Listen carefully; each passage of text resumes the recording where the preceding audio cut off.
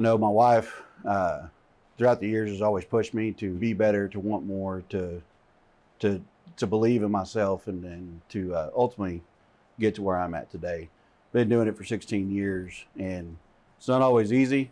Uh, but at the end of the day, being able to provide for my family and take care of them and give them a better life than I had uh, is my biggest inspiration. At Blattner, they say they're a family first company, and they they live by it.